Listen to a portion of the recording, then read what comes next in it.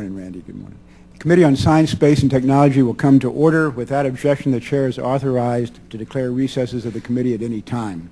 Pursuant to Committee Rule 2F and House Rule 112H4, the chair announces that he may postpone roll call votes on matters in which the yeas and nays were ordered until the end of the markup.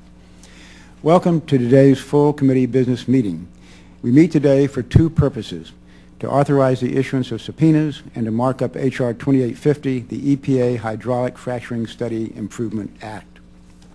Pursuant to notice, I now call up the resolution authorizing the issuance of subpoenas to the Environmental Protection Agency to obtain data from certain studies, and the clerk will report the resolution. Resolution offered by Mr. Smith. Be it resolved that the Committee on Science, Space, and Technology, that upon adoption of this resolution, the chairman of the committee is authorized to issue subpoenas duces tecum for any and all research data, information, documents, and other records which may be de-identified relating to the Harvard Six Cities Study. Without objection, the resolution will be considered as read and open uh, for amendment at any point. Now, I'll recognize myself for five minutes for an opening statement. Today, we consider the committee's first subpoena in 21 years. Unfortunately, we've been put in this position by an agency that willfully disregards congressional requests and makes its rules using undisclosed data. This subpoena could have been avoided. For almost two years, this committee has been waiting for the Environmental Protection Agency to release the taxpayer-funded research data it uses to justify its Clean Air Act regulations.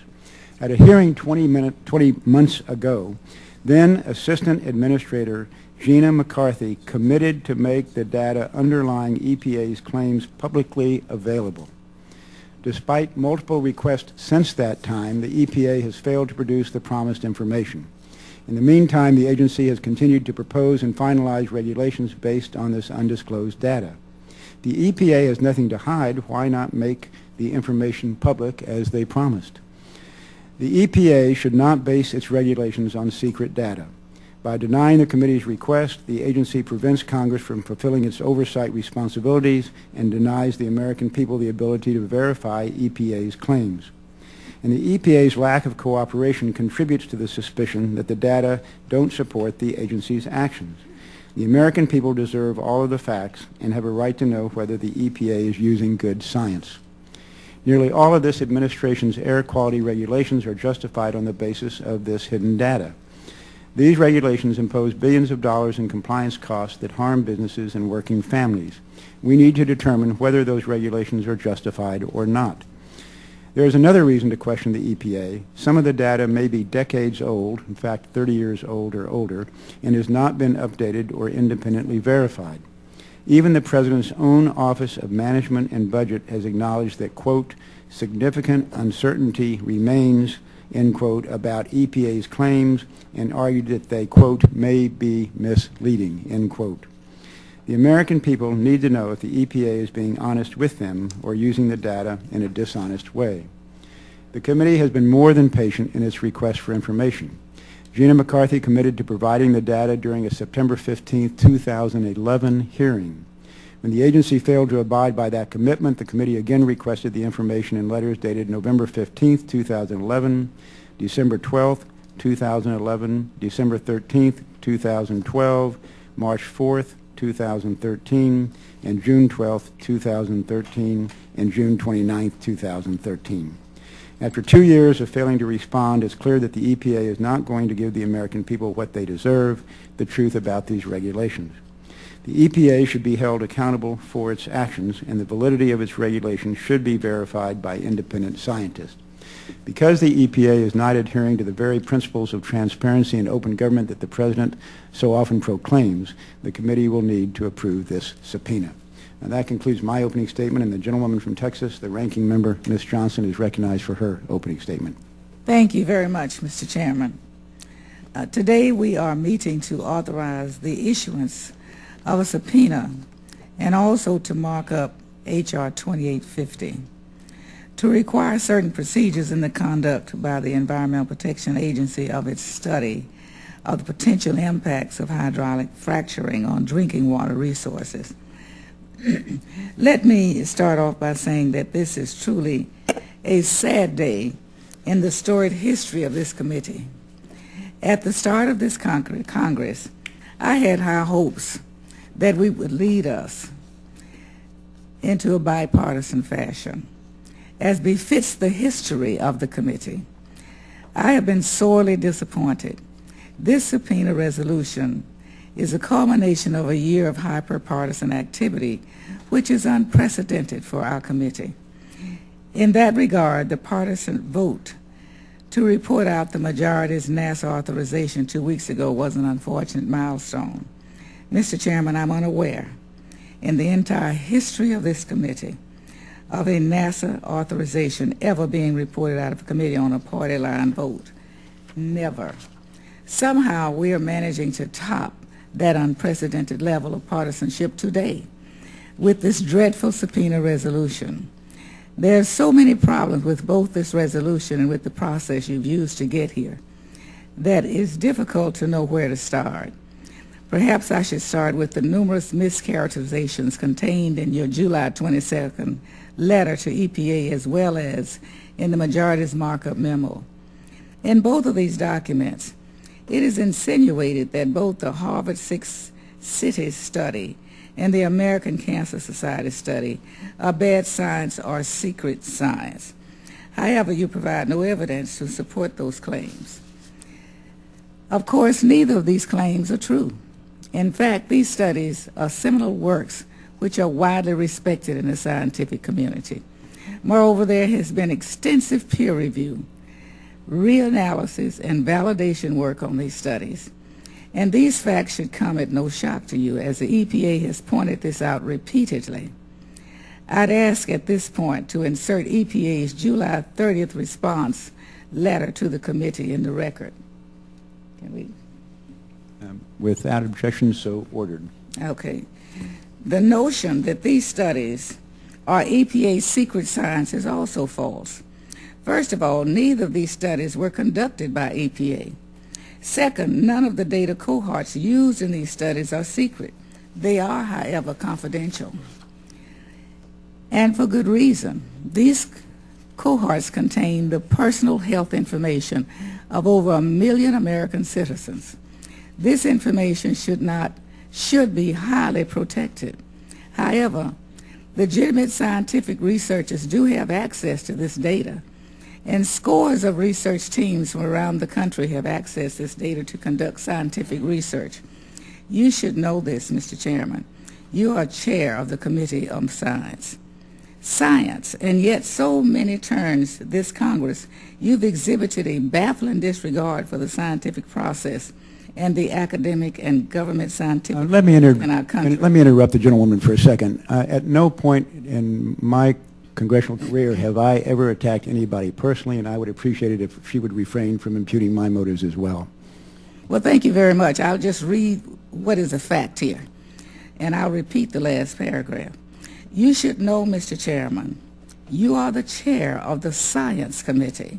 Science, and yet, at so many turns in this Congress, you've existed, exhibited a baffling disregard for the scientific process and the academic and government scientific community in our country. This is another example. And what do you seek in this data? Just yesterday, you readily admitted that you intend to pass this confidential data to third parties. Who, Mr. Chairman? What legitimate scientific researcher can't already access this data? I have to assume you will be passing this data to, excuse my language, industry hacks. To so blatantly be doing the bidding of this polluting industries is simply mind-boggling. Uh, Mr. Chairman, If I the- demand the gentlewoman's words be taken down. The gentlewoman from Texas will suspend. I have.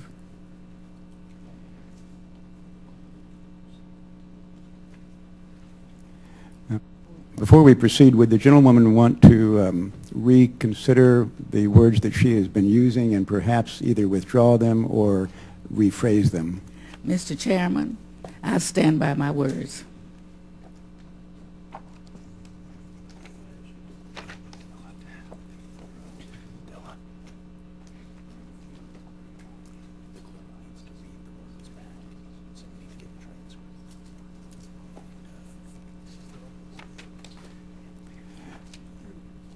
The clerk will need to read the words that have been spoken, and in that regard, we will need to get a transcript of the uh, statement.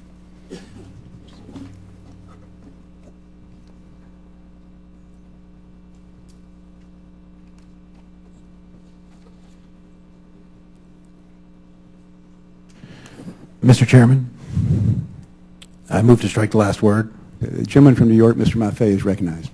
Um, Mr. Chairman, regular order, Yeah, nothing, that is- nothing can go on until That the is chair correct. rules The on gen- the The objection. gentleman from uh, Wisconsin is correct. I'm sorry, Mr. Maffei, I'll have to uh, wait I- to recognize you. I withdraw the motion.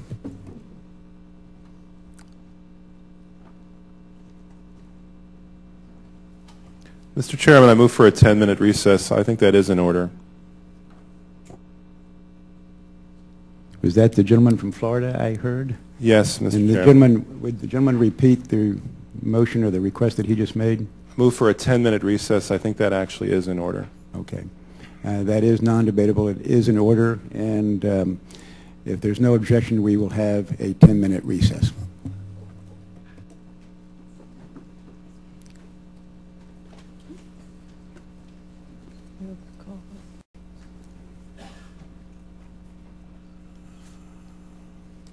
The Science, Space, and Technology Committee will reconvene, and the gentlewoman from Texas, Ms. Johnson, is recognized.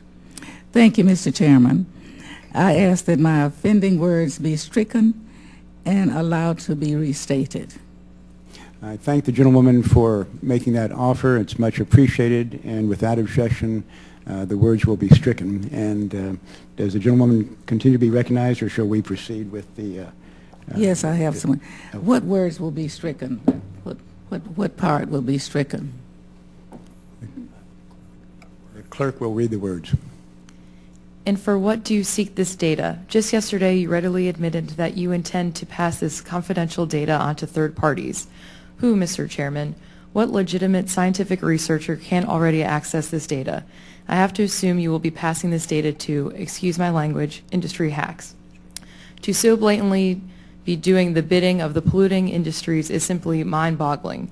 If the data is not going to be provided to industry, either directly or indirectly, members need to know to whom you will be sending it.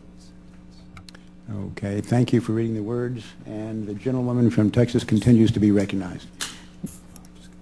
Uh, Thank you very much, Mr. Chairman. Uh, I'm, I'm appalled that this committee seems to be doing the bidding of polluting industries. If the data is not going to be provided to industry, either directly or indirectly, members need to know to whom you will be sending it. You know for years the tobacco industry tried every trick in the book to gain access to the American Cancer Society's data so that their own salaried hacks could catch, cast doubt on the link between smoking and cancer. Thankfully, they were largely unsuccessful, and I hope today's efforts will also fail. I want to be clear. This is not legitimate oversight. This is not an appropriate role for this committee. My job is not to undermine public health at the explicit behest of polluting industries. Like the subpoena resolution, H.R. 2850 is a continuation of the same theme of political mismanagement of the scientific process. I'll have more specific comments in my statement on the bill, but for now, I'm simply going to say that it doesn't seem very well thought out. Mr. Chairman, we can and should do better than this. I sincerely hope that as we move forward, the majority will cease their senseless attacks on the scientific process and the scientific research community. I thank you and yield back. Thank you, Ms. Johnson. Are there other members who wish to be heard on this resolution? The gentleman from Utah, Mr. Stewart, is recognized. Thank you, Mr. Chairman. Uh, Thank you for holding this hearing, and thank you for the gracious and I believe nonpartisan leadership you have shown on these important matters. I know that you have conducted this committee with integrity and fairness, and uh, frankly, the display of partisanship and personal attacks that we've witnessed this morning is an example of the challenge that you have. Uh, Mr. Chairman, I support this resolution and I look forward to you promptly issuing a subpoena to obtain this data. In fact, I would say that I plead with you to issue this subpoena. For far too long, the EPA has kept Congress and the American people in the dark concerning claimed benefits of its rules. And I want to reiterate, reiterate that very simple message that the committee has been repeating for two years. We should not base regulations on non-transparent information. Is that an unreasonable request? Is that a partisan request? The answer is no and no. And as we all know too well, it's working families that will ultimately foot the bill for the agency's assault on affordable energy. They have a right to see the underlying data. And by the way, the American people get it. In a poll earlier this year, 90% of Americans agreed that studies and data used to make federal government decisions should be made public. If we were only to judge by their words, the administration also appears to support this simple idea. For example, in December 2010, White House memo states that agencies should expand and promote access to scientific information by making it available. This should include data and models underlying regulatory proposals and policy decisions. That apparently doesn't apply to this data or the EPA's clean air rules. Similarly, uh, President Obama's March 2009 scientific integrity memo states there should be transparency in the preparation, identification, and use of scientific and technological information in policymaking. By the administration's behavior, that apparently doesn't apply to this data or EPA clean air rules. The President's Executive Order 13563 requires that regulations be based on the best available science. This administration's top science advisor appeared to have agreed as well. Dr. John Holdren, the President's science advisor, testified in this room in June 2012 that absolutely the data on which regulatory decisions and other decisions are based should be made available to the committee and should be made to the public. This sentiment has been endorsed by other respected parts of the federal scientific enterprise. The National Academy of Sciences states that when the government-funded research is used for decision-making, data sharing allows for analysis of problems by investigators with diverse perspectives. The Administrative Conference of the U.S. is an independent federal agency that includes EPA as its member. In an amazing case of what I believe is sheer hypocrisy, even the EPA's own scientific integrity policy states that scientific research and analysis compromise the foundation of all major EPA policy decisions. Therefore, the agency should maintain vigilance toward ensuring that science, research, and results are presented openly and with integrity, accuracy, timeliness, and a full public scrutiny demanded when developing sound, high-quality environmental science. At this point, we have no way of knowing if these data sets support the claims made by the agency. This issue is too important simply to trust the EPA. This committee has, as you stated, Mr. Chairman, has been asking the agency for this information for two years. Instead of integrity, accuracy, and timeliness as the agency's policy requires, we get excuses, inaccuracies, and delay, as we saw in their uh, most recent letter of just a few days ago. I believe that this must come to an end, and I support this subpoena effort, and Mr. Chairman, I yield back my time. Thank you, Mr. Stewart. The gentleman from New York, Mr. Maffei, is not, I thought, wanted to be recognized. If not, are there other members? The g- gentleman from Florida, Mr. Grayson, is recognized. Thank you, Mr. Chairman. I have some questions about the resolution itself, and I'll yield to you or anyone else uh, involved in the drafting of the resolution who can try to clarify these points for me. Um, with regard to the wording of the resolution, it refers to the Environmental Protection Agency and a subpoena to other custodians of research data from such studies. Uh, who are the other custodians? Uh, The gentleman, who are the other, what was the last word the gentleman said? Who are the other custodians referred to in the resolution? It might be uh, one of two, perhaps both, um, both Harvard and the Cancer Institute. Well, And let me, let me say, I don't expect to issue subpoenas to them because I don't think it will be necessary. I believe the EPA either has the data or can get access to the data. So uh, I'm hoping that that would be uh, sufficient, just the EPA subpoena. Well, I think the chairman can understand uh, the concern that one might have with regard to the phrase "other custodians of research data" without identifying who that might be. It could be literally thousands of different people. Uh, is there some uh, way that we can modify this resolution to be specific to the intended recipients and not be what amounts to a legal blank check? I yield.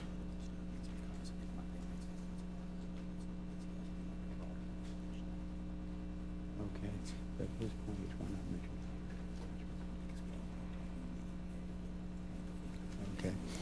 Um, if the gentleman will yield, it's my understanding that the reason for a somewhat broad subpoena is because we don't know who the EPA will point to if they deny having the data themselves, which would be a surprise because if they don't have the data, how could they issue regulations based upon that data? Uh, But in any case, should they say they don't have the data, uh, we would want to follow the trail wherever it might take us and find those who do have the data. Again, I don't think it's going to be necessary, but uh, this is a standard procedure when you uh, write a subpoena.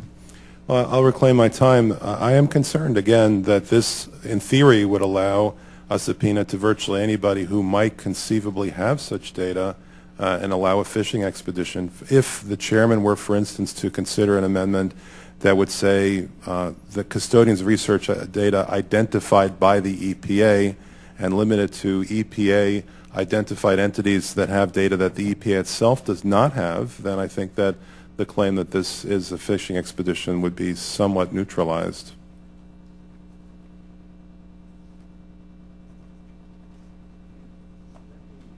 respond to the gentleman by asking him this question. Um, that has a certain appeal to me, except that what if the EPA refuses to identify the custodians of the data? Well, in that case, I would suggest that there's no way to go forward. Uh, the, if the EPA uh, won't tell you who has the data, then how would you ever know? Yeah, uh, it, but that's exactly the point for having a subpoena written in the way it is now, is to be able to try to find out who those individuals might be and who the custodians of the data um, are, so that we could try to access that information. Well, this has the force of law. If you, you are asking for a subpoena duces tecum to the EPA uh, to identify the people who have the data, Right. so they would be required by law to do so. My time's a little limited. I wanted to raise another point with regard to this and see if it's possible to make this more specific.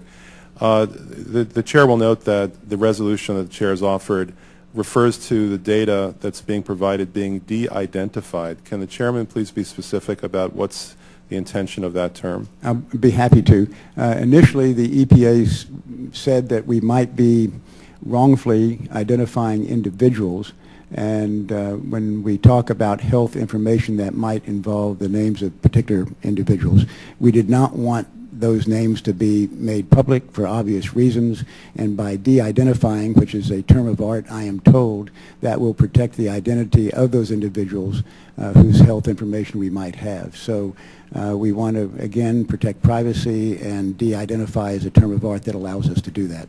Well, I think to be fair under these circumstances that that should be mandatory. Would the chair entertain an amendment that changes the word may to the word shall? Um, um, While we're considering that, Mr. Grayson, I also think I can read you, if you're interested in knowing more specifically about uh, how individuals are de-identified, I'll be happy to give you more information on that, or are you satisfied with the de-identification process?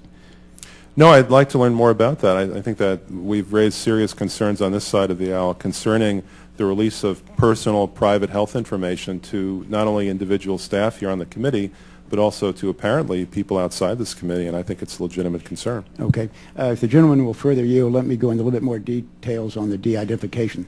Uh, The resolution explicitly allows for de-identification of all information being provided. That means that no individual names will be made public.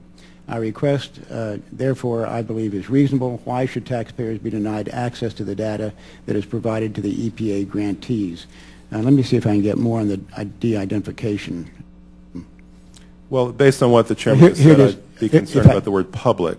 Okay, Uh, if I may continue just briefly, then, um, uh, then I'll yield back, that in 2005, the National Academy of Sciences described, quote, relatively simple data masking techniques and de-identification uh, is an approach that has worked more than 40 years.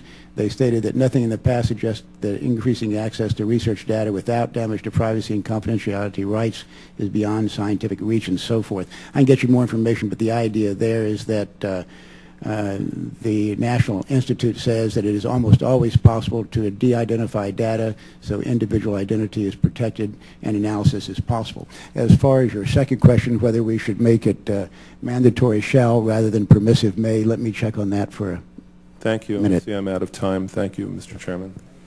Without objection, the gentleman is recognized for an additional minute. Thank you very much. Uh, The uh, the the de-identification that you're talking about seems to me to be essential here, not only in terms of releasing the information to the public, but also, frankly, protecting it from our uh, anyone here who receives it, uh, and anyone who may be given the information, wh- whether or not that would be considered to be a member of the public. The There are unspecified plans at this point, uh, at least unspecified to the minority, concerning who will be receiving this information, and perhaps the chairman can shed some light on that.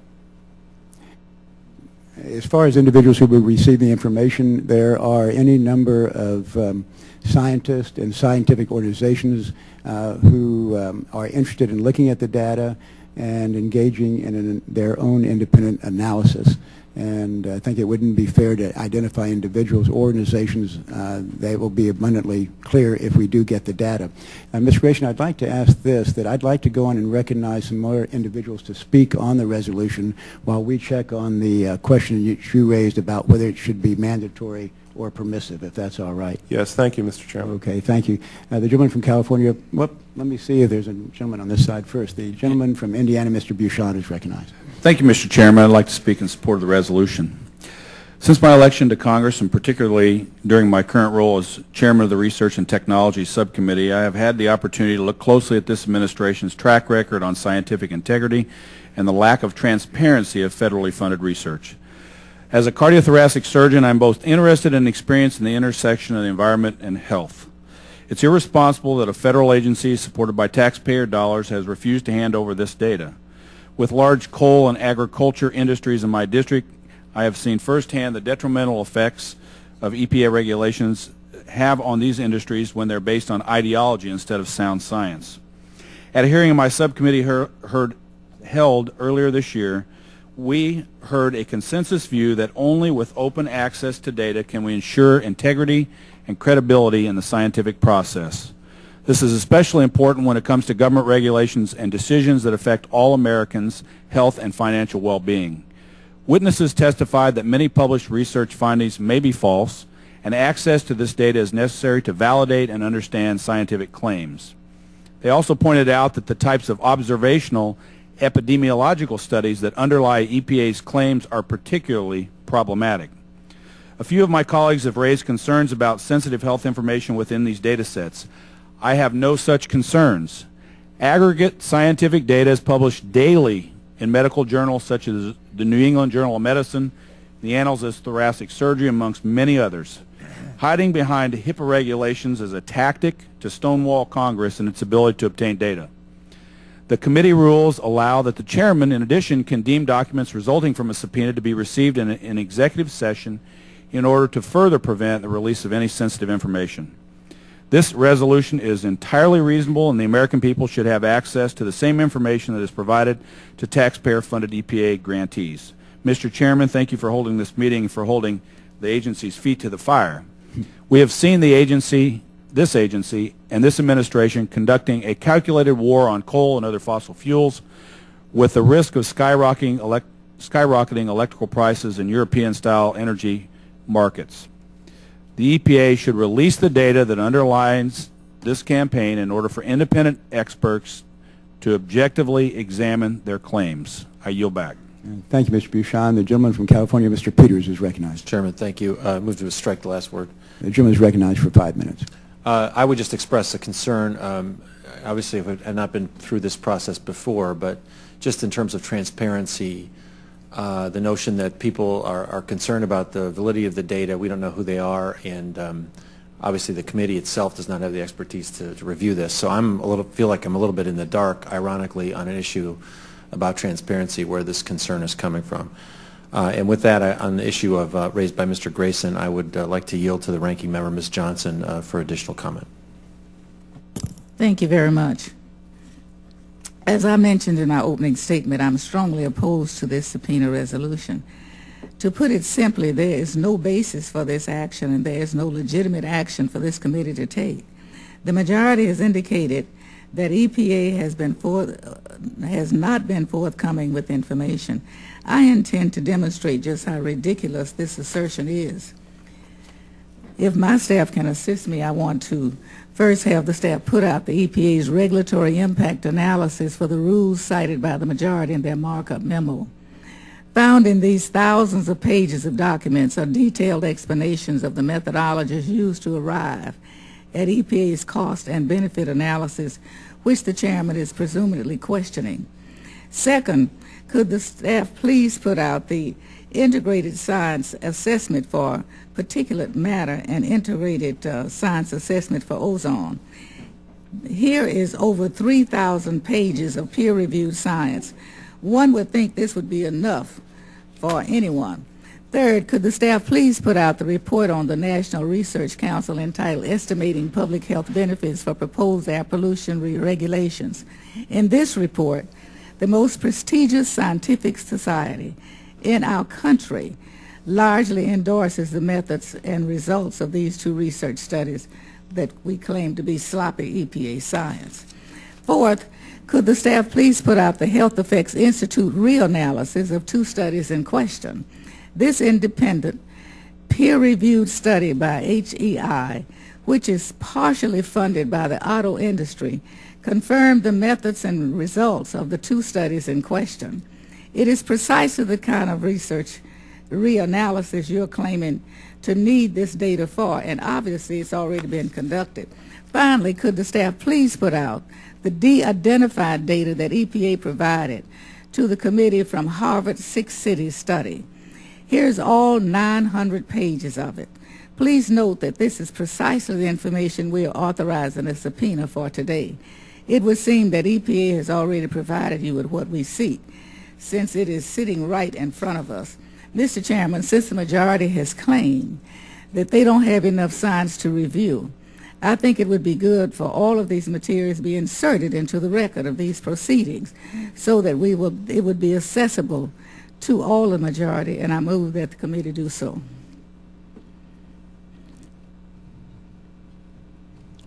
Does the gentleman from California, No, I, I just offered a motion. Mr. Chairman, I move that uh, the um, materials be inserted into the record so they'll be without accessible. objection, so ordered? Okay, thank you. I, Uh, Wait a minute. um, Okay, without objection, so ordered. what, Mr. Chairman, I move to strike the last word. No. I'm The gentleman from California, Mr. Peters, still has the time, and I believe Okay. Ms. Johnson has some more comments to make. no, I, I really think that I've made my point. There's no secret science here. In contrast, what we have is literally mountains of peer-reviewed research which supports these studies. And I just simply wanted to make sure that the record reflected that it is available.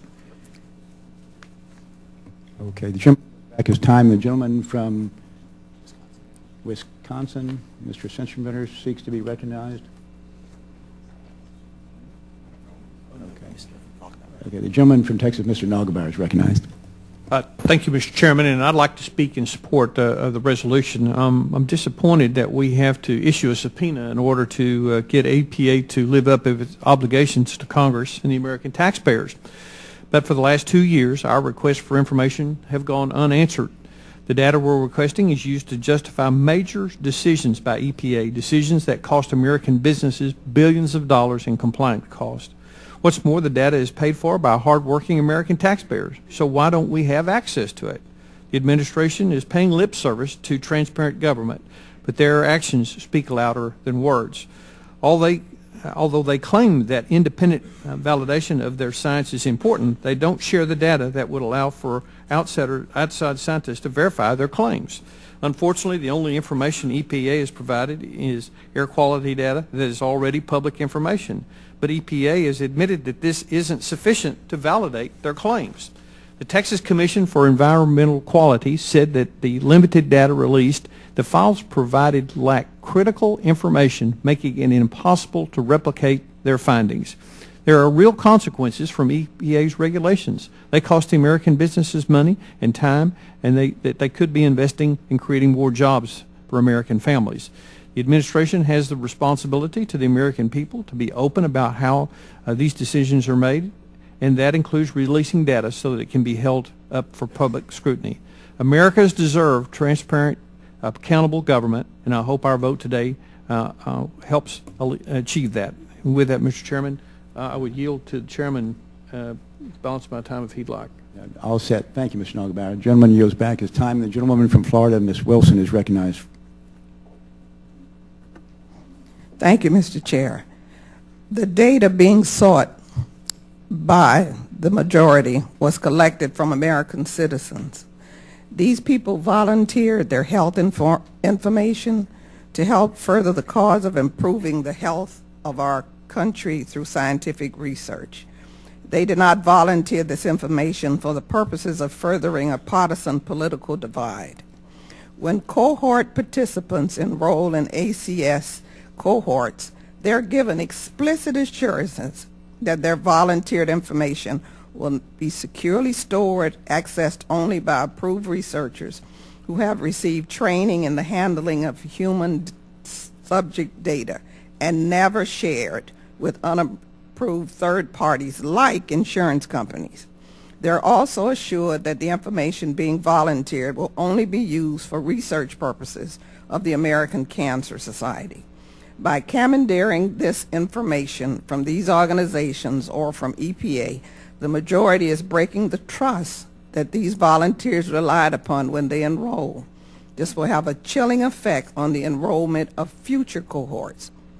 As noted above, the American Cancer Society is currently enrolling a new cohort, CPS 3, for use in further studies.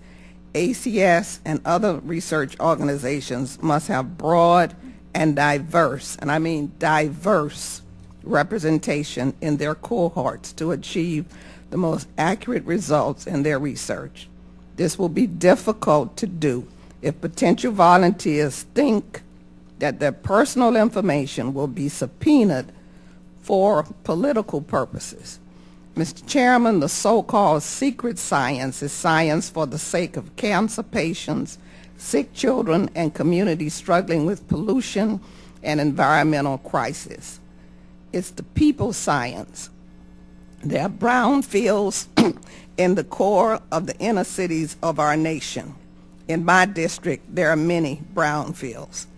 This subpoena will undermine this science for the sake of corporate polluters. Mr. Speaker, when I was principal of an elementary school, they built a composting plant across from the school called AgriPost. It was alien technology, experimenting with school children. If it were not for the EPA, all of us would probably be dead. So how do we define scientific organizations? Some experiment with alien technology like AgriPost. I need to know how do we define scientific organization and whose side are we on as a Congress? Will the gentlelady yield for a it- question? Does it, would the I gentleman have a yield? que- I asked a question. Oh, I asked a question. How do we define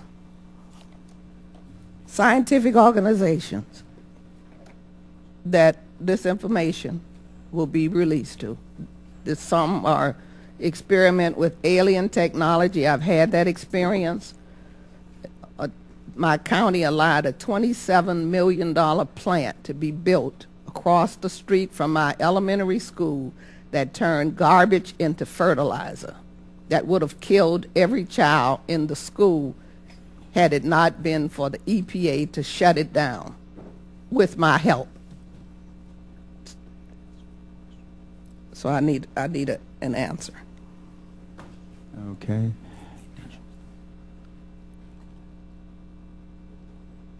Does the gentleman, is the gentleman yield back her time, or was that last I last yield back the statement? time for the answer of the question. Okay. Well, I think, I think the uh, answer has already been given, but I'll be brief in giving it again. There are any number of independent organizations and scientists as well who would be interested in looking at this data. Uh, By making it public without identifying the individuals, uh, we are going to be able to proceed as we have with any other number of agencies that make that kind of data public, and then it is scrutinized by various reputable entities and organizations. Um, That's the standard process. That's the standard scientific review process. Um, Mr. Chair, the- Yes. has anyone thought about how, how we're going to compromise the personal information of individuals who have uh, volunteered? It's very difficult to get people to volunteer their information if they know it's going to be Okay. shared with a If- if the- third if- party. If the gentleman will yield, let me repeat again that this information will be de-identified. No individual's identity will be revealed, and therefore the privacy will, their privacy will be protected. W- Will the gentlelady yield for a The- question? The gentleman's, the gentleman's time has expired. Uh, The gentleman from Arizona, Mr. Schweikert, is recognized. Uh, Thank you, Mr. Chairman.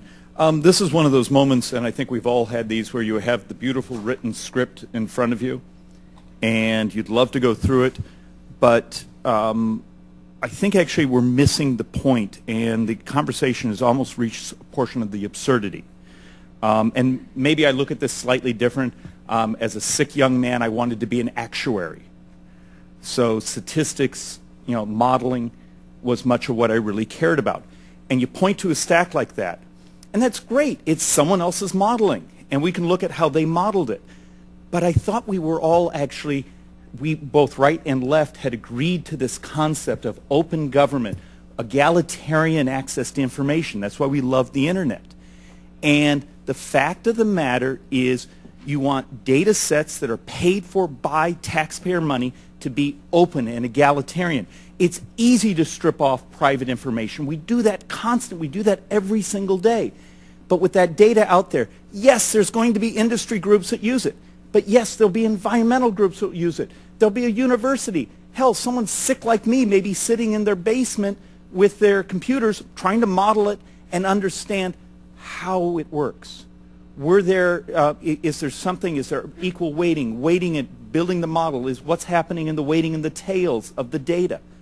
But if we're going to be making decisions, if the EPA is going to be making decisions that cost trillions of dollars to the economy, but may have tr- multiple trillions of dollars in benefits or may not, we as a community, right, left, just academic, need to have access to that information and work it and work it and work it and work it because if we're going to do this to all of us, it needs to be a communal sort of decision making of they got this right, they got this wrong, you screwed up on the way you weighted this, no, you did this. But that's how this type of decision making that's going to affect our lives and our kids' lives and our grandkids' lives and the economy within that. We need to do this collectively. And I, I'm, I find it absurd that what was going to be an incredibly open society because of access to data, because of the access to the information, because of the access to the internet, we're actually engaging in this conversation. And in some ways it breaks my heart. Mr. Chairman, I yield back. Uh, Thank you, Mr. Schweikert. Are there other members who wish to be recognized? The gentle, Ms. the gentlewoman from Maryland, Ms. I just want to say very quickly, um, the EPA has offered and has submitted all of their research. The research that is not here was not done by EPA nor a contractor from EPA.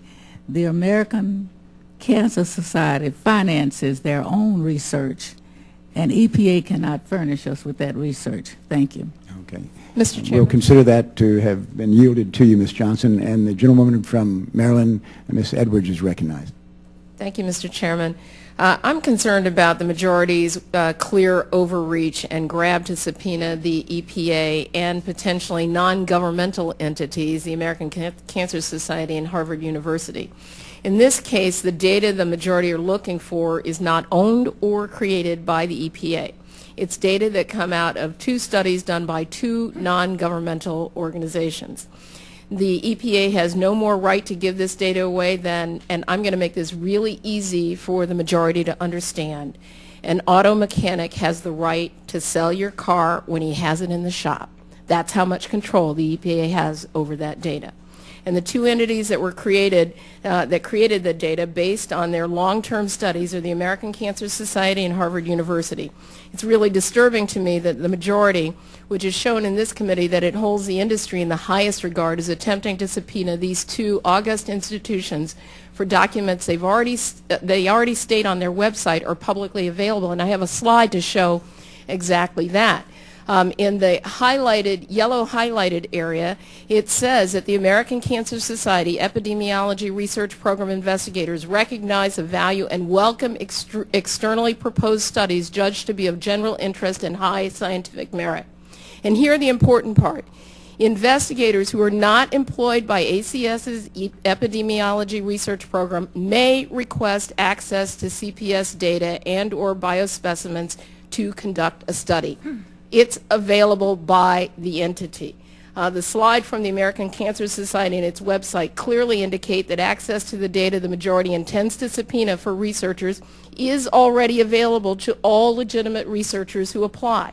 So it really begs the question whether the majority really intends to subpoena the American Cancer Society to provide data access to scientists who already have it.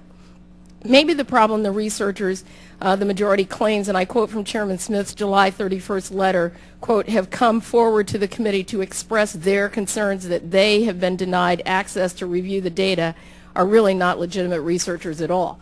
And I would yield just for a moment if anyone, anyone in the majority can identify to me, to this committee, to the public, on the record, the names of researchers in the institutions they belong Would- to would the who've been denied this data. Would the gentlewoman yield? Just for a minute, I'll be names. happy to identify such individuals. Um, Despite uh, the assertions by the EPA that they're making this data public, that is clearly not the case, and a number of individuals have repeatedly been denied. Who are the For individuals, For example, Dr. Stan Young, Assistant Director of the National Institute of Statistical Sciences, has been denied access to the Harvard Six Studies data. Similarly, Dr. Jim Enstrom, epidemiologist and research professor at the UCLA School of Public Health, has been denied access to the Cancer Prevention Study 2 data. That's an example of one for each. Okay, so let's uh, let's hear. So, um, according uh, to uh, to Harvard, um, Dr. Young is acting on his own. He's seeking data sets he believes would be interesting to analyze. It's not an official request from the institution that he works from. It's from an individual, and that can be accessed um, by the individual from uh, from the website. So I don't really understand what the complaint here. Um, the NISS isn't pr- promising to do anything. Dr. Young has no authority to commit the institution to do anything, and there aren't any resources available to undertake the analysis. Um, so I'm just curious as to how the majority feels that the EPA hasn't given them the data they requested, actually data they don't own or have um, have control over. It's the ACS and it's Harvard University. It's not um, the EPA. We have documentation, in fact, showing that EPA's responses and the reams of papers that have been brought in are just a part of all the data the EPA has made available. And given all the data that EPA has already provided, what I just asked more would the majority suggest that EPA has to give for them to comply with the subpoena and therefore avoid what I'm sure would be a contempt citation. Uh, again, I yield to anyone in the majority who could answer that for me, but I don't think there's anybody who can. Uh, it's really clear to clear to me Gina McCarthy has only been an EPA administrator for two weeks. The majority is already trying to attack her. They did it under the previous administrator, Lisa Jackson, who was attacked equally by members of this committee and Republicans in Congress. Instead of supporting science, the committee is obstructing. It's taking hostage legitimate scientific endeavors of the EPA. It's endangering the lives of the American public. And I have to tell you, to me, it just sounds like getting ready for August, going out so you have something to talk about, but it's not legitimate, and we should stop doing it on this committee. And Would the gentlewoman yield. one more time? I don't have any time. Thank you, Mr. Uh, Chairman. I'll, without objection, I'll yield the gentlewoman another 15 seconds to yield to me. Uh, in an April 10th letter, EPA admitted that the limited information that has been provided is, quote, not sufficient, end quote, to analyze or validate the results of these studies. The gentlewoman's time has expired, and the gentleman from California, Mr. Rohrabacher, is recognized. Mr. Chairman, it's difficult to understand uh, how anyone who is uh, serving on this committee would want to limit the amount of information that is available uh, to us on this committee, especially if it deals with why certain scientific decisions are being made. Uh, clearly, the EPA is making decisions that are significant uh, for the lives of the American people and significant for the policies, not only the, their own policies, but the other policies that we will vote on as, as, a, as a representatives of the American people. If the EPA is making decisions and, and coming uh, to conclusions in, in terms of their own policy, uh, and it's based on information, whatever information that's their decisions are based on, that information should be made available to us upon our request. I mean, there's just, uh, uh, I, I, I, it's, it's mind-boggling that that's that there's even any argument about that. If indeed a decision by the EPA is made on certain information, we have the obligation to see if that information is, is accurate, to look at it. And uh, uh, so, I mean, uh, let me just note, uh, this is, uh, it seems to me, this is consistent with what I'm also on the Foreign Affairs Committee. Uh, this is consistent with some of the other things that we've been dealing with in dealing with this administration, which came into power claiming they were going to be the most transparent administration ever.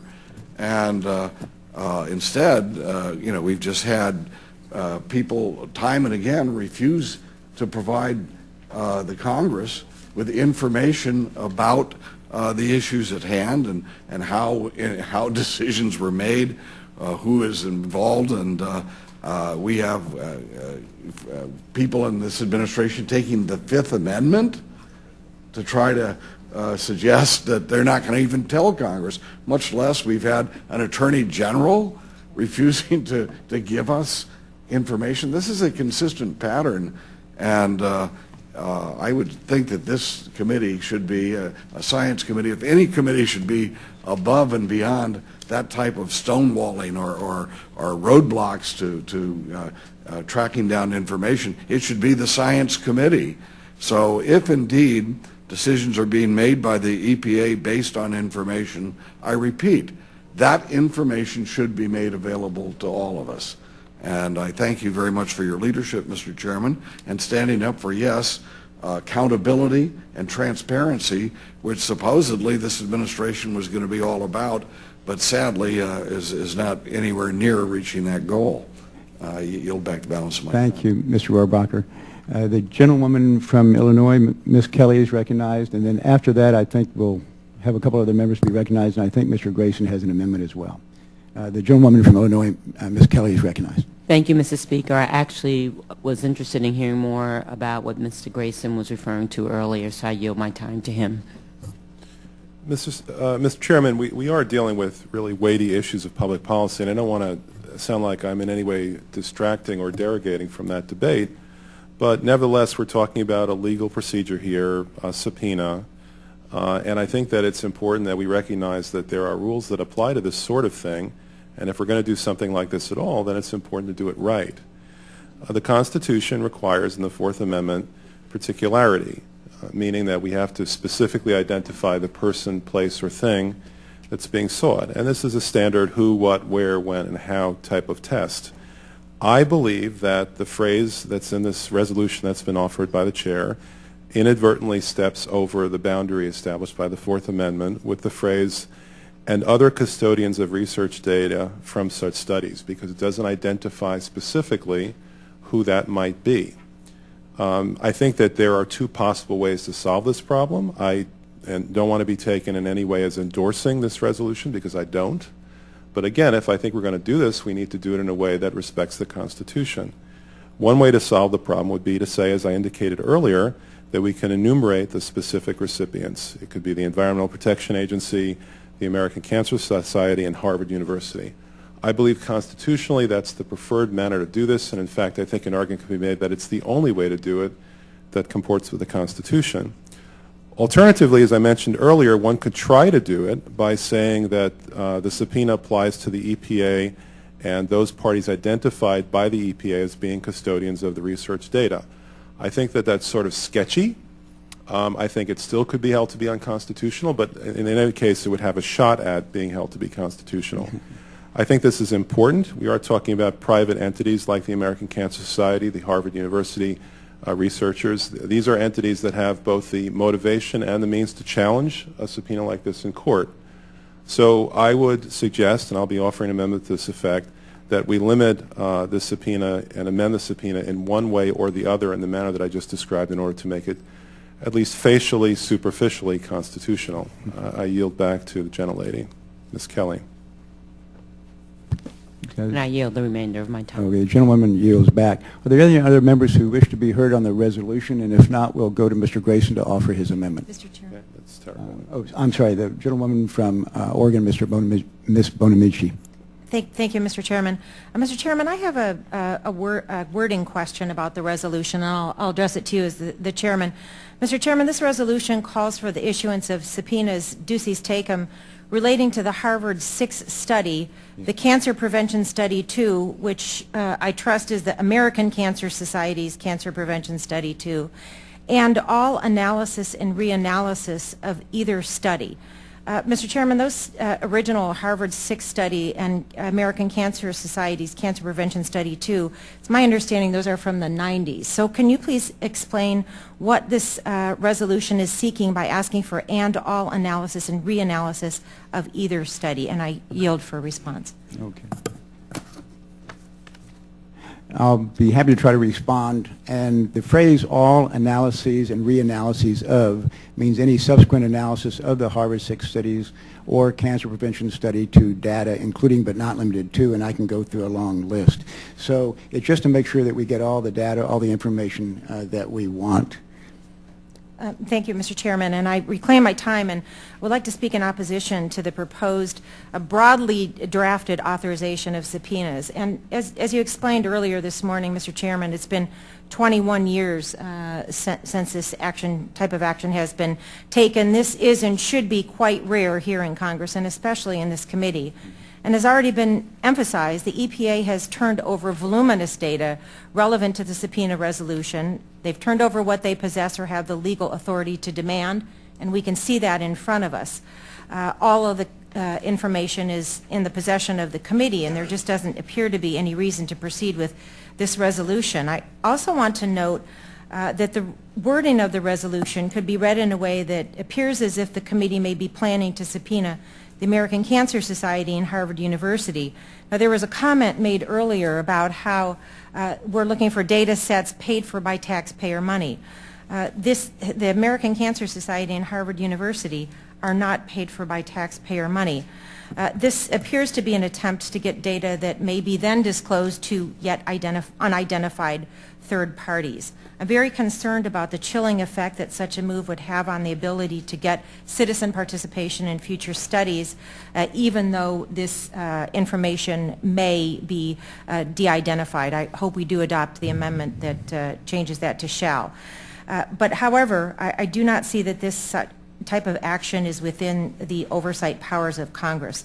Mr. Chairman, the basic threshold of credibility has not been made for this uh, subpoena authorization resolution, and I urge the committee members to oppose it.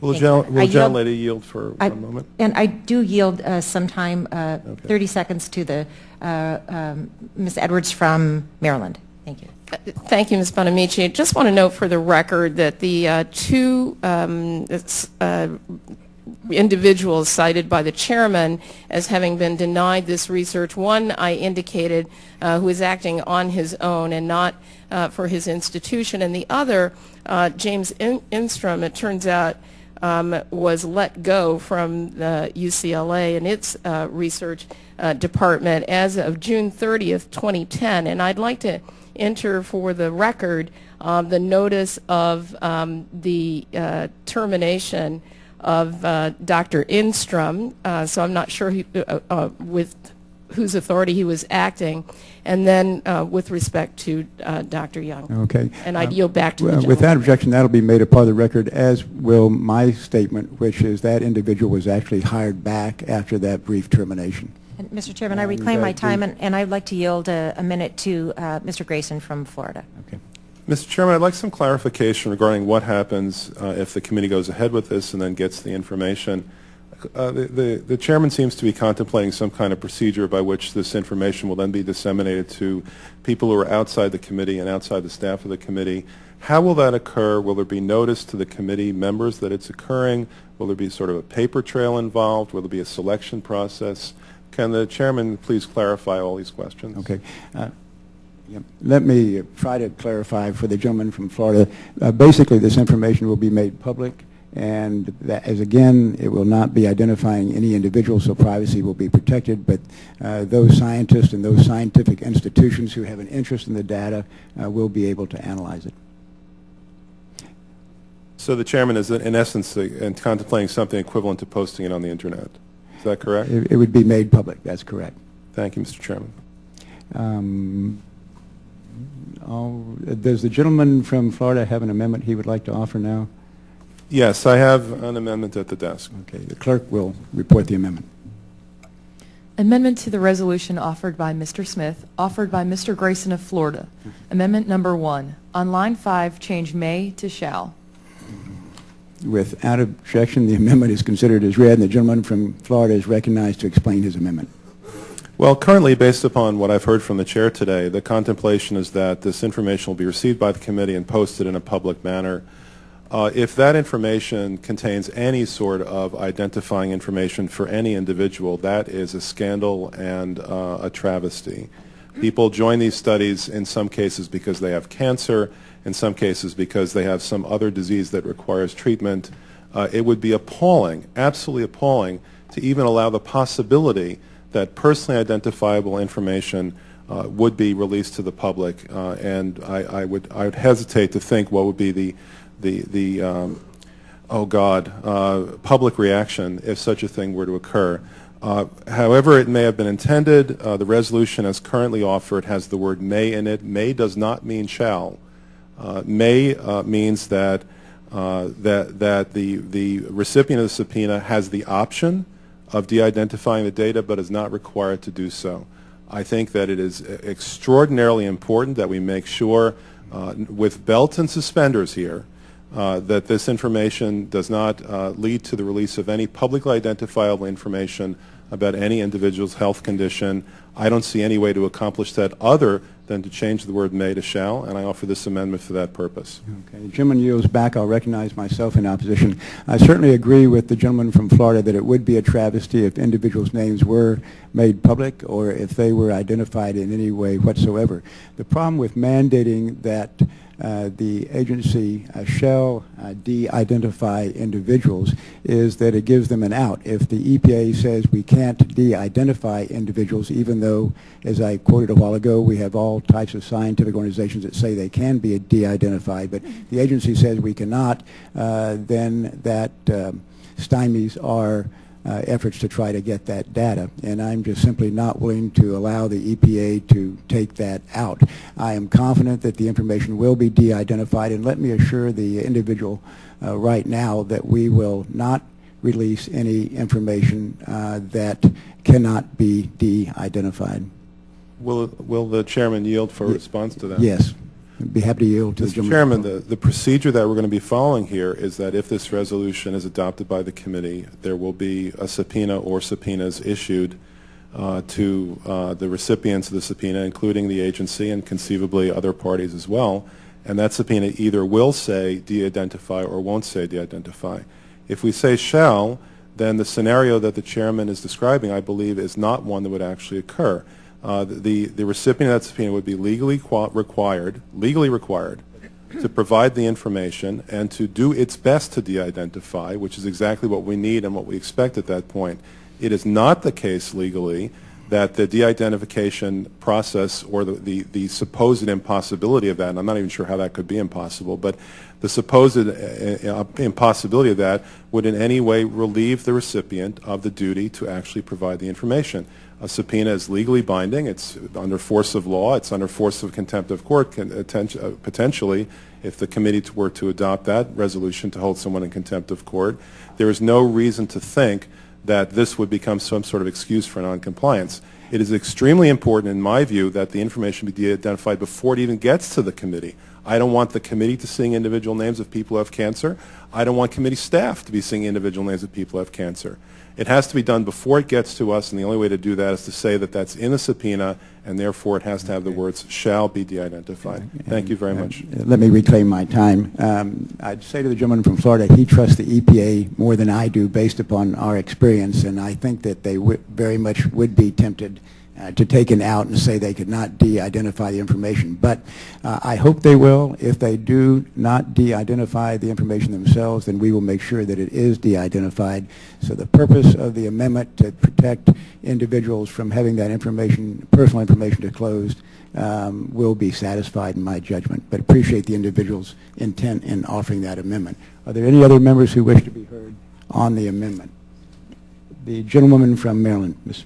Edwards, is recognized. Thank you, Mr. Chairman. I want to speak in favor of the amendment, and I'll tell you an additional concern that I have, and I would yield to the gentleman from, uh, from Florida to uh, respond if he could, is that, um, you know, we're dealing with also two private entities who've made commitments of privacy to the, patient, the patients, the persons who've undertaken the studies, and we haven't dealt at all with the legal liability of those two entities should information that is private be released to the public, whether the public is this committee or its staff or it's the general public.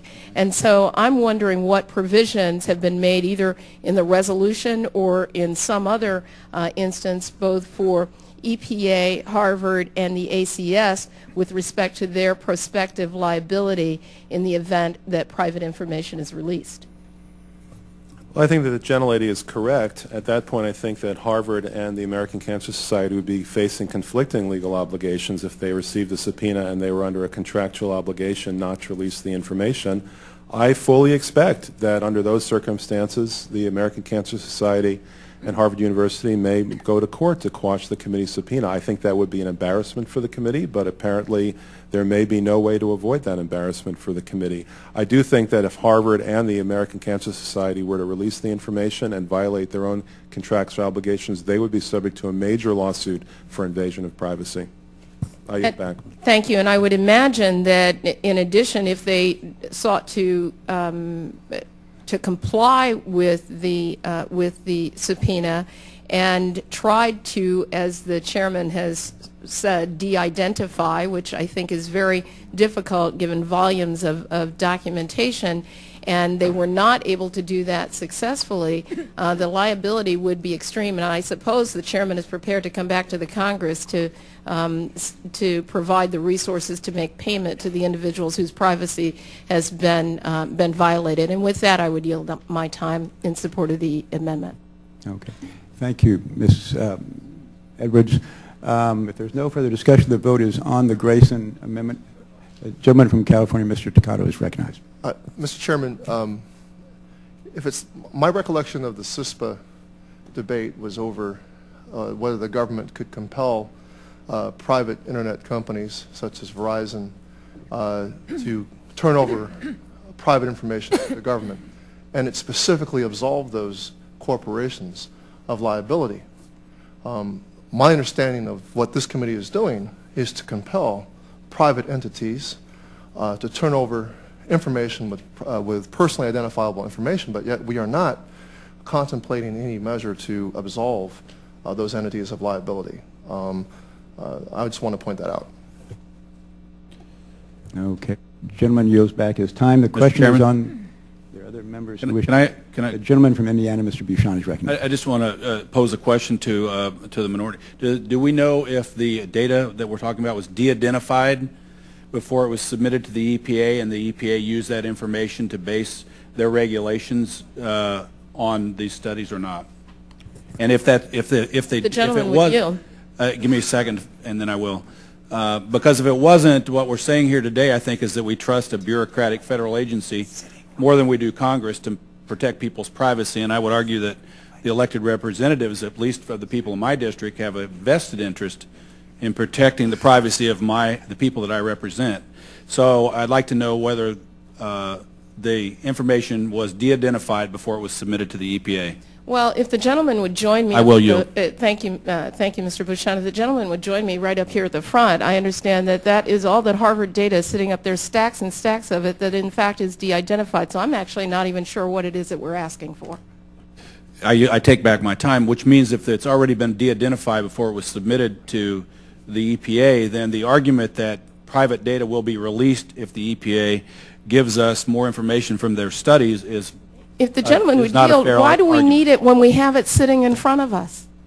Why are we subpoena, why are we Uh, reclaiming issuing my a time. subpoena if it's right in front of us? reclaiming my time. Ge- uh, Mr. Chairman, I yield back. Okay. Gentleman yields back. The question is on the Grayson Amendment. All in favor say aye. Aye. All opposed say nay. In the opinion of the chair, the nays have it and the amendment is not agreed to. I ask for a recorded vote. Roll call vote has been requested pursuant to Committee Rule 2F and House Rule 112H4. Proceedings on the vote will be postponed. Are there any other amendments? I have an amendment at the desk.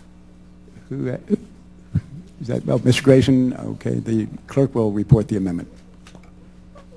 Amendment to the resolution offered by Mr. Smith, offered by Mr. Grayson of Florida. Amendment number two. On line seven, after either study, insert "and the identity of who possesses such information." On line eight, after "from such studies," insert "identified by the E EPA." The gentleman from Florida is recognized to explain his amendment. Thank you, Mr. Chairman. As I indicated earlier, uh, as this resolution has been drafted, it is unconstitutional. It does not identify with specificity the person, place, or thing to be produced. It does not identify who, what, when, where, and how because of the phrase that the offensive phrase and other custodians of research data from such studies. I understand the purpose of this. I understand that the committee majority uh, intends to uh, use this to potentially get information directly from the American Cancer Society and Harvard University. I would point out to uh, Mr. Bucshon uh, that there's no reason to think that uh, a subpoena to the American Cancer Society and Harvard University uh, would yield de-identified data. There's no reason to think that the Harvard University and American Cancer Society data sets have been de-identified. The only way to make that happen is to order it. But regardless of that, there needs to be some specificity regarding what is meant in this resolution by other custodians of research data. Otherwise, the resolution is flatly unconstitutional under the Fourth Amendment to the Constitution. I am offering this not in order to defeat what appears to be the apparent purpose of the majority, uh, but rather to effectuate that purpose in a manner that's consistent with the Constitution. I believe that the same people will be getting this subpoena regardless, but the resolution itself will no longer offend the Constitution. I yield back. Okay. Uh, Thank you, Mr. Grayson. I'll recognize myself in opposition, and I know the gentleman is well intended here, uh, but again, I'm afraid the gentleman trusts the EPA more than I do. Uh, By allowing the EPA to be the one to de- designate those individuals who uh, might be coerced into giving us the information, that really ultimately puts the authority into their hands as to whether they're going to produce the data or not. They are the decision makers, and that is not a power I'm willing to give them. Also, uh, let me uh, add in response to what the gentleman said a few minutes ago and what the gentlewoman from, uh, Bon- from Oregon, Ms. Bonamici, mentioned a while ago, and point out the distinction between the authorization of subpoenas that we're actually voting on and the subpoena itself. Uh, the authorization is broad as all types of subpoenas are because you sometimes don't know who has the information. The subpoena that will actually be executed will be very specific and will be directed towards the EPA and no other institutions at this point. Will the Uh, gentleman I'll- yield? And I'll be happy to yield to the gentleman from Florida. Is the, is the chairman willing to represent at this point uh, that the current intention is to that the, such a subpoena go only to the EPA, the American Cancer Society, and Harvard University? And will the chair represent that if the subpoena goes to anyone else, the chair will come back to the committee, advise the committee, and allow further proceedings? If the gentleman will yield, the uh, subpoena is actually going to be more narrow than the three entities that the gentleman mentioned. It's only going to be going to the EPA. I hope it is not necessary to go to Harvard or the American Cancer Institute. Okay. I yield back. Okay. Thank the gentleman. Uh, The vote is on the Grayson Amendment. All in favor, say aye. Aye. Opposed, nay. Opinion of the chair that nays have it, and the amendment is not agreed to. Um, Are there any other amendments? If not, we will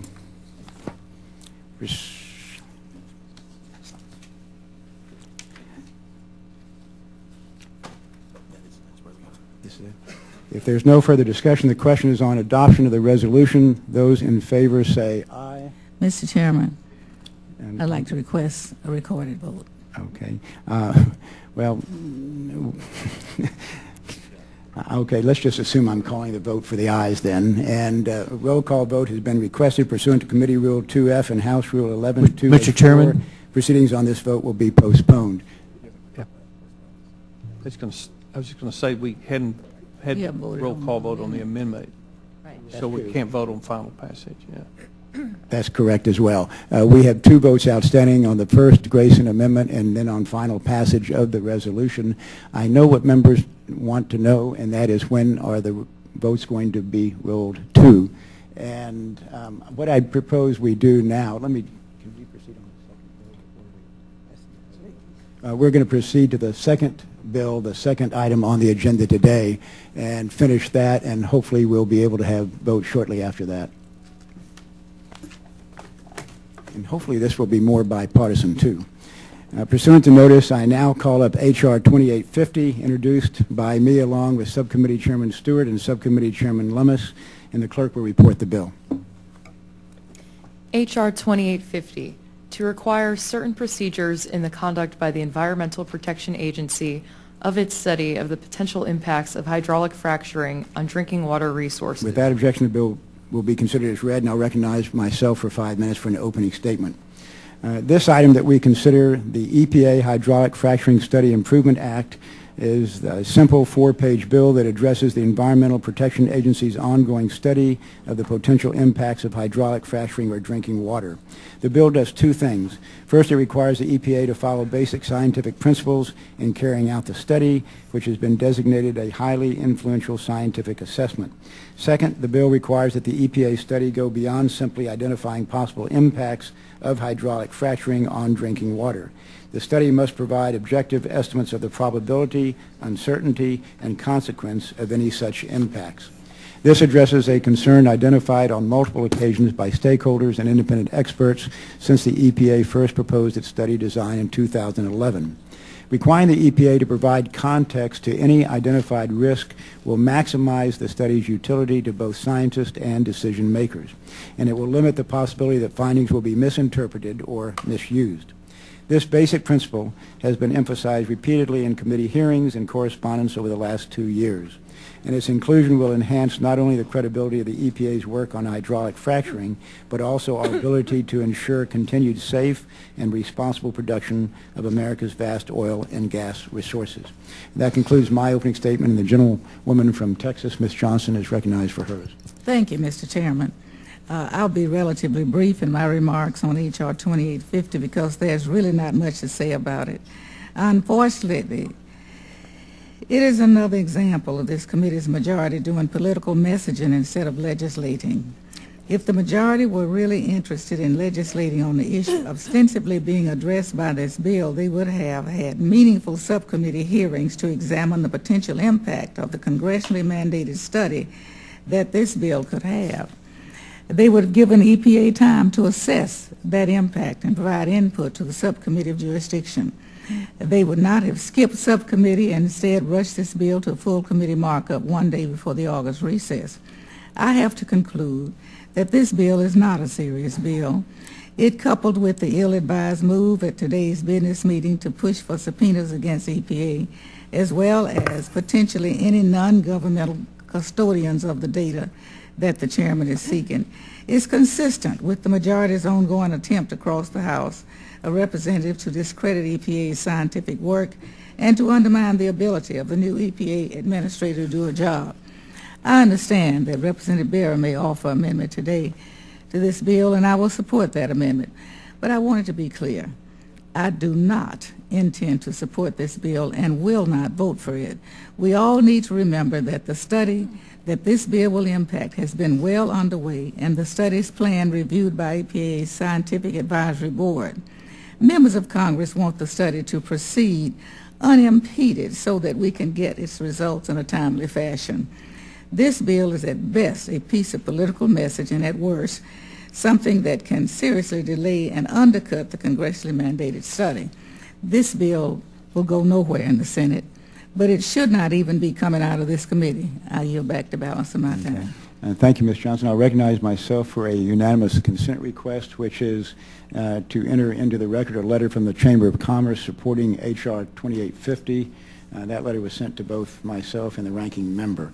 Uh, The gentleman from California, Dr. Bera, is recognized for the purpose of offering an amendment. And and the clerk will report the amendment. Amendment to H.R. 2850, offered by Mr. Bera of California. I, I ask unanimous consent that the amendment be considered as read. With that objection, the amendment will be considered as read, and the gentleman is recognized to explain his amendment. Thank you, Chairman Smith. I understand the desire of the majority to provide context um, to the ultimate findings of the study. Um, you know, as a doctor, I certainly would not want to tell a patient that they have a risk of a particular illness without qualifying that risk as much as I can, and that's the intent of this study. However, I also have concerns that the current language of the bill, um, perhaps inadvertently, could lead to a significant delay in the release of the in-depth, critically important study that the EPA is currently carrying out to determine whether there's a relationship between hydraulic fracturing and groundwater contamination. This study is um, an important component to informing science-based national and state policies in this area going forward.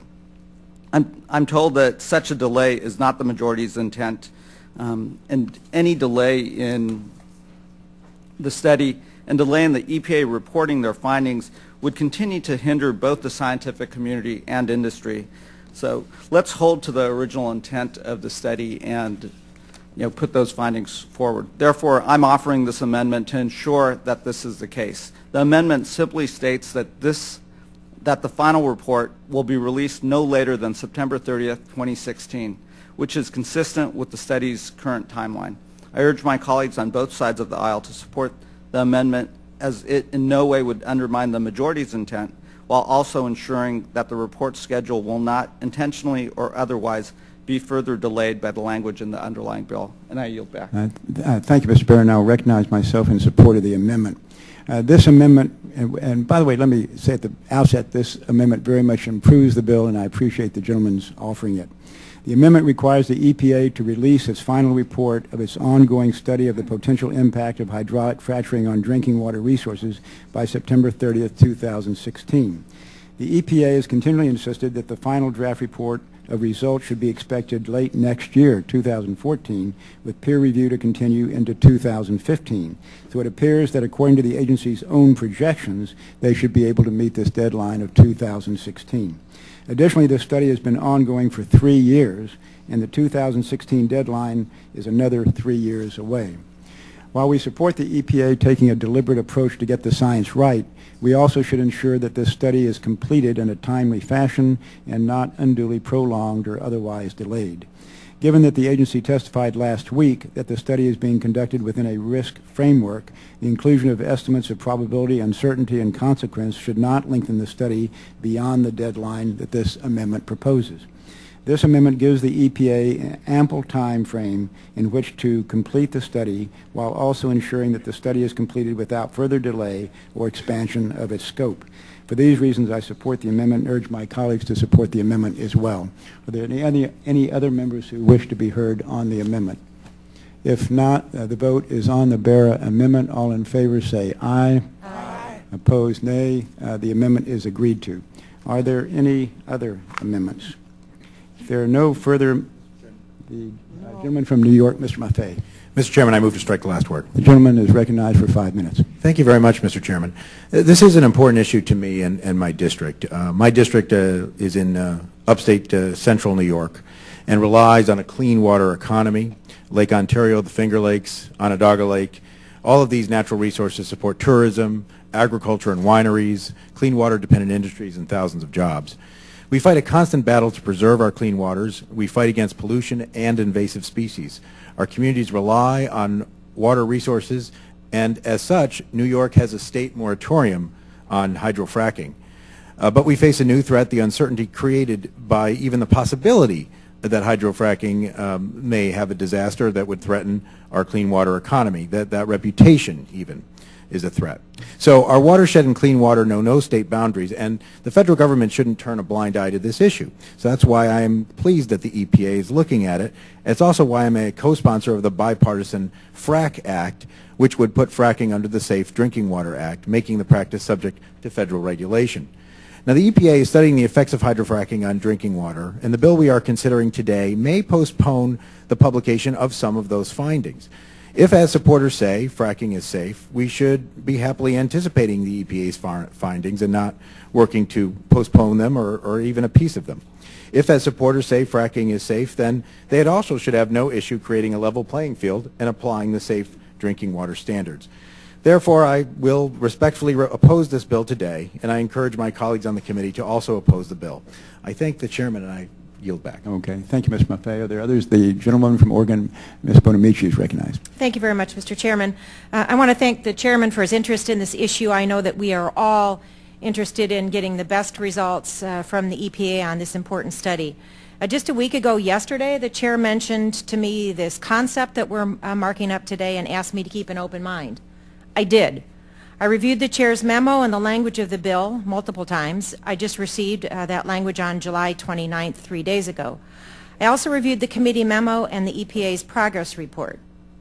I concluded that Section 1 of the bill isn't necessary. The, EPA, the EPA's own progress report from December of 2012 on page 4 states, the EPA has designated the report of results as highly influential scientific assessment, which will undergo peer review by the EPA's Science Advisory Board, an independent and external federal advisory committee that conducts peer reviews of significant EPA research products and activities.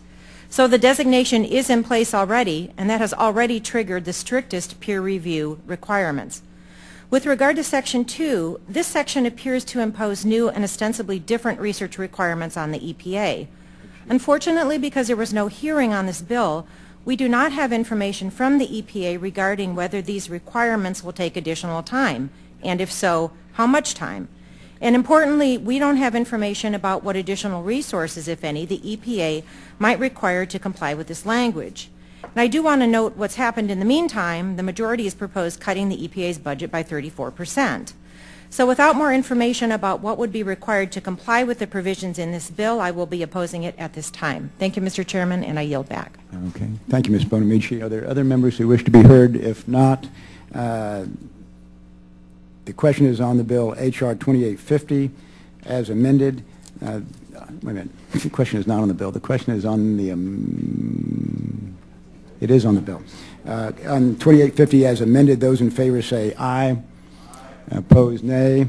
Nay. Opinion of the chair, the ayes have it, and the bill is ordered reported favorably. Um, pursuant... Mr. Chairman, on that I request a roll call vote.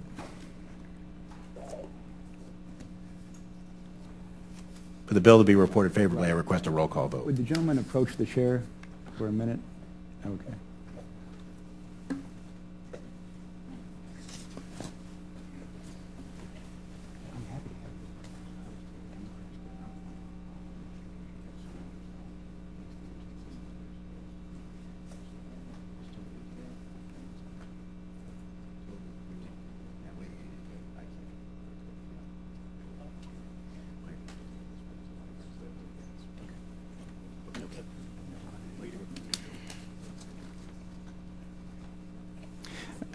A roll call vote has been requested pursuant to Committee Rule 2F and House Rule 112H4. Proceedings on this vote will be postponed. I thank the chair.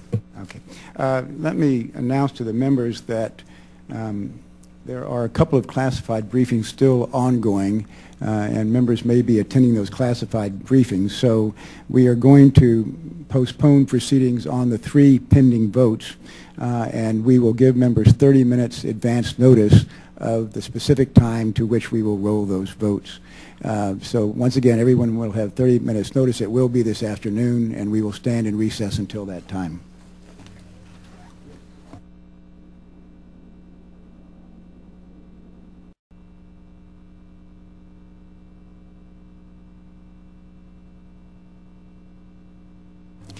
The Science, Space, and Technology Committee will reconvene Uh, Before we get to the scheduled and postponed votes, I want to take a minute to recognize Ellen Scholl.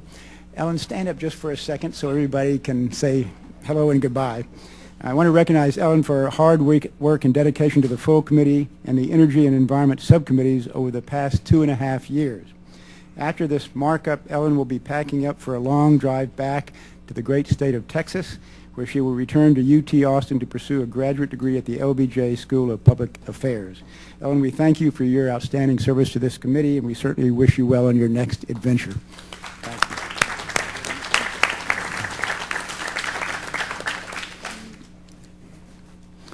First item of unfinished business of the committee is the postponed roll call on the amendment offered by Mr. Grayson, amendment number one to the resolution, and the clerk will call the roll. Mr. Smith? No. Mr. Smith votes no. Mr. Rohrabacher? Mr. Rohrabacher votes no. Mr. Hall? Mr. Hall votes no. Mr. Sensenbrenner? Mr. Lucas? Mr. Neugebauer? Mr. Neugebauer votes no. Mr. McCaul? Mr. McCaul votes no. Mr. Broun? Mr. Broun votes no. Mr. Palazzo? Mr. Palazzo votes no. Mr. Brooks? Mr. Brooks votes no. Mr. Hultgren? Mr. Hultgren votes no. Mr. Bucshon? Mr. Bucshon votes no. Mr. Stockman? Mr. Stockman votes no. Mr. Posey? Oh, sorry. Mr. Posey votes no. Mrs. Lummis? Mrs. Lummis votes no. Mr. Schweikert? Mr. Schweikert votes no. Mr. Massie? Mr. Massie votes no. Mr. Cramer? Oh, Mr. Cramer votes no. Mr. Bridenstine? Mr. Bridenstine votes no. Mr. Weber? Mr. Weber votes no. Mr. Stewart? Mr. Stewart votes no. Mr. Collins? Mr. Collins votes no. Ms. Johnson? Ms. Johnson votes aye. Ms. Lofgren? Ms. Lofgren votes aye. Mr. Lipinski? Mr. Lipinski votes aye. Ms. Edwards? Ms. Edwards votes aye. Ms. Wilson? Ms. Wilson votes aye. Ms. Bonamici? Ms. Bonamici votes aye. Mr. Swalwell? Aye. Mr. Swalwell vo- votes aye. Mr. Maffei? Aye. Mr. Maffei votes aye. Mr. Grayson? Aye. Mr. Grayson votes aye. Mr. Kennedy? Mr. Kennedy votes aye. Mr. Peters? Mr. Peters votes aye. Mr. Kilmer? Mr. Kilmer votes aye. Mr. Bera? Mr. Bera votes aye. Ms. Esty? Ms. Esty votes aye. Mr. Veasey? Mr. Veasey votes aye. Ms. Brownley? Ms. Brownley votes aye. Mr. Takano? Mr. Takano votes aye. Ms. Kelly? Ms. Kelly votes aye.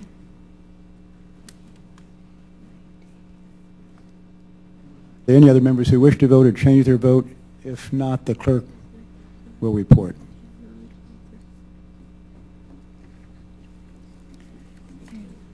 Okay.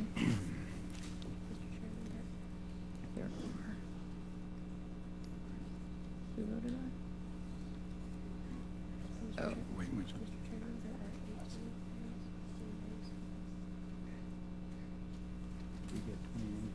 Mr. Chairman, 18 members voted aye, and 20 members voted nay.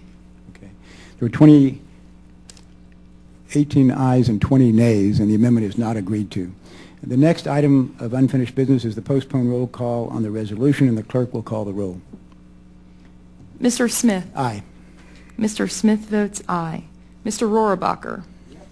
Mr. Rohrabacher votes aye. Mr. Hall? Mr. Hall votes aye. Mr. Sensenbrenner? Mr. Lucas? Mr. Neugebauer? Mr. Neugebauer votes aye. Mr. McCaul? Mr. McCaul votes aye. Mr. Broun? Mr. Broun votes aye. Mr. Palazzo? Mr. Palazzo votes aye. Mr. Brooks? Mr. Brooks votes aye. Mr. Hultgren? Mr. Hultgren votes aye. Mr. Bucshon? Mr. Bucshon votes aye. Mr. Stockman? Mr. Stockman votes aye. Mr. Posey? Mr. Posey votes aye. Mrs. Lummis? Mrs. Lummis votes aye. Mr. Schweikert? Mr. Schweikert votes aye. Mr. Massie? Mr. Massie votes aye. Mr. Cramer? Mr. Cramer votes aye. Mr. Bridenstine? Mr. Bridenstine votes aye. Mr. Weber? Mr. Weber votes aye. Mr. Stewart? Mr. Stewart votes aye. Mr. Collins? Mr. Collins votes aye. Ms. Johnson? No. Ms. Johnson votes no. Ms. Lofgren? Ms. Lofgren votes no. Mr. Lipinski? Mr. Lipinski votes no. Ms. Edwards? Ms. Edwards votes no. Ms. Wilson? Ms. Wilson votes no. Ms. Bonamici? Ms. Bonamici votes no. Mr. Swalwell? No. Mr. Swalwell votes no. Mr. Maffei? No. Mr. Maffei votes no. Mr. Grayson? No. Mr. Grayson votes no. Mr. Kennedy? Mr. Kennedy votes no. Mr. Peters? Mr. Peters votes no. Mr. Kilmer? Mr. Kilmer votes no. Mr. Bera? Mr. Bera votes no. Ms. Esty? Ms. Esty votes no. Mr. Veasey? Mr. Veasey votes no. Ms. Brownley? Ms. Brownley votes no. Mr. Takano? No. Mr. Takano votes no. Ms. Kelly? Ms. Kelly votes no.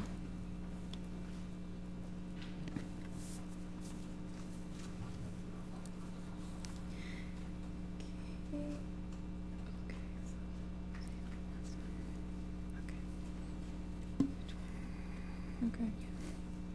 Uh, The clerk will report the vote. Mr. Chairman, there are 20 members who voted aye and 18 members voted nay. In this vote, there were 20 ayes and 18 noes, and the resolution is agreed to. Without objection, the motion to reconsider is laid upon the table, and the gentleman from New York, Mr. Maffei, is recognized. Uh, Mr. Chairman, thank you. I ask unanimous consent that I uh, be allowed to withdraw my request for a roll call vote on the pending matter. Okay, with that objection, thank the gentleman. The question is on the bill H.R. 2850 uh, as amended. Those in favor say aye. Opposed, nay. The ayes have it, and the bill as amended is agreed to. Uh, With that objection, the motion to reconsider is laid upon the table, and I move that the bill H.R. 2850 as amended be favorably reported to the House, and the staff be authorized to make any necessary technical and conforming changes, and without objection, so ordered. Uh, There is no further discussion. That completes our business, and this concludes the full committee markup. Without objection, the committee stands adjourned.